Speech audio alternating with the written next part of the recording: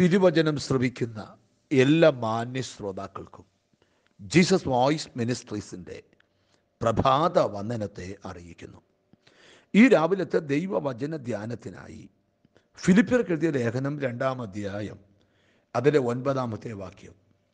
അതുകൊണ്ട് ദൈവവും അവനെ ഉയർത്തി സകല നാമത്തിലും മേലായ നാമം അവനെ നൽകി. ഇന്ന് രാവിലെ നമ്മൾ യേശുവിന്റെ നാമത്തെക്കുറിച്ചാണ് ധ്യാനിക്കുന്നത്. ധനനായ പൗലുസ്ലിക ഫിലിപ്പിയർക്ക് ലേഖനം എഴുതുമ്പോൾ യേശുക്രിസ്തു ആരായിരുന്നു? യേശുക്രിസ്തു എന്തായിരുന്നു? ക്രിസ്തുവിന്റെ നാമനിമിത്തം നമുക്കുണ്ടാകുന്ന അനുഗ്രഹം എന്താണ്? ക്രിസ്തുവിൽ നാം ആരാണ്? ആദിയായ കാര്യങ്ങളെ വെളിപ്പെടുത്തുന്ന ഒരു ലേഖനമാണ് ഫിലിപ്പിയർക്ക് എഴുതിയ ലേഖനം. ഇവിടെ എഴുതിയിരിക്കുക അഞ്ചാമത്തെ ക്രിസ്തുവേശുവിലുള്ള ഭാവം തന്നെ നിങ്ങളിലും ഉണ്ടാകട്ടെ.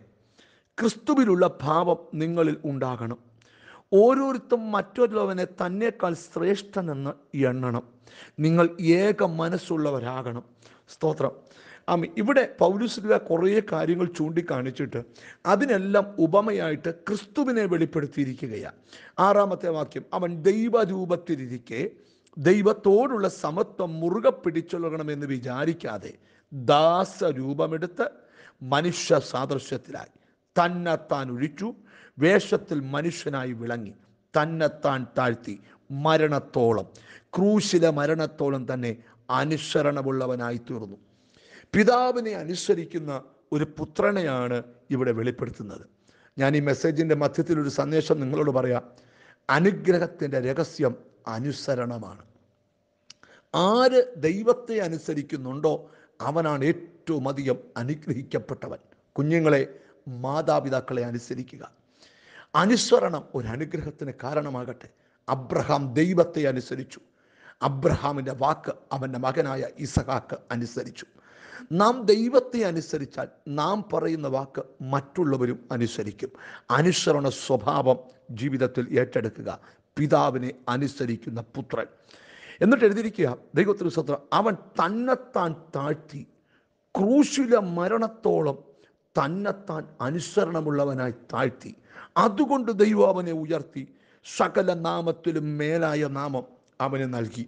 ഇന്ന് സകല നാമങ്ങൾക്കും മേലായ ഒരു നാമമുണ്ടെങ്കിൽ അത് യേശു ക്രിസ്തുവിന്റെ നാമമാണ് ബൈബിൾ പറയുന്നു അവന്റെ നാമം ബലമുള്ള നാമമാണ് അവന്റെ നാമം ബലമുള്ള ഗോപുരം പോലെയാണ്.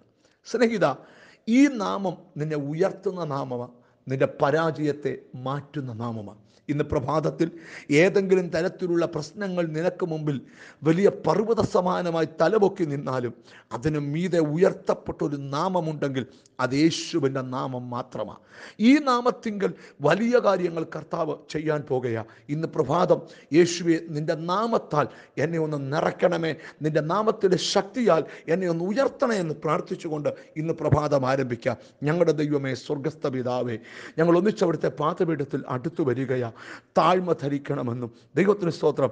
ആമേ ദൈവത്തിന് ക്രിസ്തുവിന്റെ ഭാവം ഞങ്ങളിൽ ഉണ്ടാകണമെന്നും മറ്റുള്ളവരെ ശ്രേഷ്ഠരായി എണ്ണണമെന്നും ഐക്യതയുള്ളവരാകണമെന്നും ഒക്കെ പൗലുസ്ലിക പറഞ്ഞ പ്രബോധനം ഞങ്ങൾ സ്വീകരിക്കുക ക്രിസ്തു ആമി അങ്ങയെ ഭൂമിയോളം താണു. ആമി സ്തോത്രം. അങ്ങയെ ഉയർത്തി സകല നാമത്തിലും മേലായ നാമം തന്നതുകൊണ്ട് സ്തോത്രം. ഇന്ന് രാവിലെ എന്നോട് ചേർന്ന് പ്രാർത്ഥിക്കുന്ന മക്കൾക്ക് വേണ്ടി പ്രാർത്ഥിക്കുന്നു. അവരുടെ രോഗം സൗഖ്യമാകട്ടെ. അവരുടെ ശാപങ്ങൾ അഴിയണമേ. അവരുടെ ബന്ധനങ്ങൾ പൊട്ടണമേ. അവരുടെ പരാജയങ്ങൾ മാറണമേ. നിന്റെ നാമം ചൊല്ലി അവരെ അനുഗ്രഹിച്ച് പ്രാർത്ഥിക്കുന്നു. ക്രിസ്തുവിന്റെ നാമത്താൽ അവർ അനുഗ്രഹിക്കപ്പെടട്ടെ എന്ന് ഞങ്ങൾ പ്രാർത്ഥിക്കുന്നു. പ്രാർത്ഥന കേട്ടതുകൊണ്ട് നന്ദി. യേശു ക്രിസ്തുവിൻ നാമത്തിൽ തന്നെ. ആമേ നമുക്ക് ആ ബലമുള്ള നാമത്തിന്റെ കീഴിൽ താണ്ടിരിക്കാം. ആ മാം നിന്നെ ഉയർത്തട്ടെ. ആ മാമം നിന്റെ അവസ്ഥ മാറ്റട്ടെ. God bless you. ഇന്ന് പ്രഭാതം ആ നാമം പറഞ്ഞുകൊണ്ട് നമുക്ക് ആരംഭിക്കാം. ആമേൻ ആമേൻ ആമേൻ.